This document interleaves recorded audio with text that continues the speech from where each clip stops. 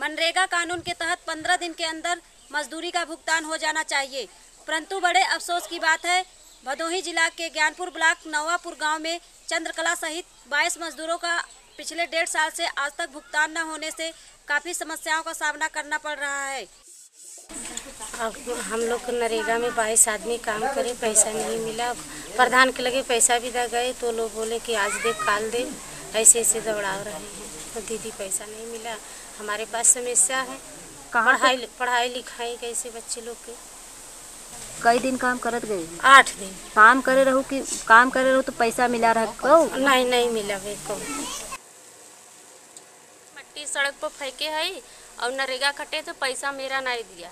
प्रधान के गए तो प्रधान आजकल आजकल दौड़ा रहे थे। वो पाँच पाँच लड़का छः छः लड़का कैसे पढ़ाई कैसे लिखाई किताब कलम भी चाहे खाना खर्चा चाहे अब मेरा पैसा नहीं दे रहा था।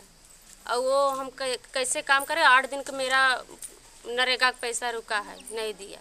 अगर आपको पैसा मिल जाए तो आपके क्या फ़ायदा हो अरे बच्चे लोग के पढ़ाएँगे लिखाएँगे पैसा मिलेगा तो मन में और दिल बढ़ेगा काम करने के।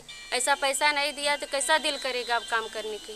काम किया नरेगा ने और आठ दिन काम किया और पैसा नहीं मिला।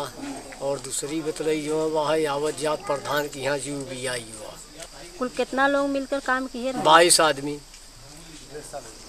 डेढ़ साल के दिन बीत गया। का चाहत है? अरे साहेब पैसा हम लोग चाहत है जो मिल जात जो गरीब आदमी खटे हैं बैसो। तो बहुत धन्य भाग गया। मैं और मेरा समुदाय चाहता है कि इन सभी मनरेगा मजदूरों का जल्द से जल्द भुगतान हो जिससे इनकी समस्या दूर हो।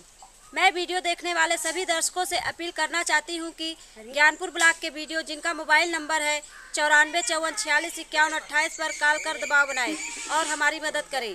मैं कैसा देवी उत्तर प्रदेश, भदोही जिला से, इंडिया, अनहड के लिए।